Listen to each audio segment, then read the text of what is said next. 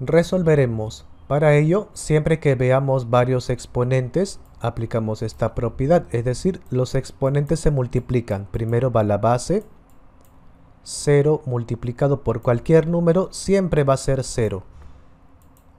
Ahora, eh, cuando tenemos exponente 0, la respuesta es 1. Como hay paréntesis, no olvides que 0 le afecta por eso a todo esto. Entonces este número podría ser fracción, raíz cuadrada, cualquier número excepto el 0 para que elevado a 0 salga 1, así que respuesta 1.